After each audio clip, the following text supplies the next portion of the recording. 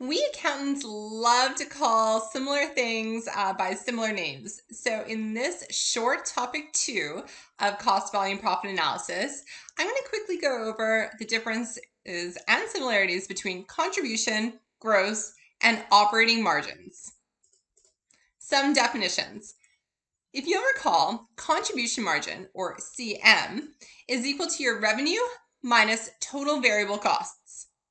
Your gross margin is equal to your revenue minus your cost of goods sold. If already you're like, mm, not quite sure what's going on here, um, please go back and watch the recap videos of re prerequisite materials. It shouldn't take very long. All right, and now third, our operating margin. That is our revenues minus total variable costs minus your fixed costs. This is also known as net profit. All right. Now, your operating margin also equals your operating income. This does not include items such as interest expense or tax expense. Now, I want you, before we go any further, to think about how you could use CVP, cost volume profit analysis, to facilitate your decision making. Time for a question. Your manager approaches you and tells you that they recently toured the factory of a competitor.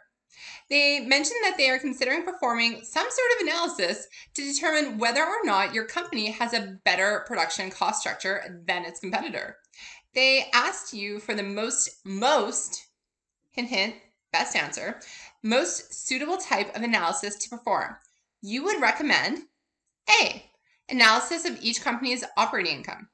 B, analysis of each company's net profit margin. C, analysis of each company's contribution margin. Or D, analysis of each company's gross margin. Welcome back. If you said D, analysis of each company's gross margin, you'd be correct. The gross margin considers the selling price less the cost of goods sold, which is a strong indicator of production cost. When the selling prices of each company may be different, gross margin analysis is more suitable than the remaining options. All right.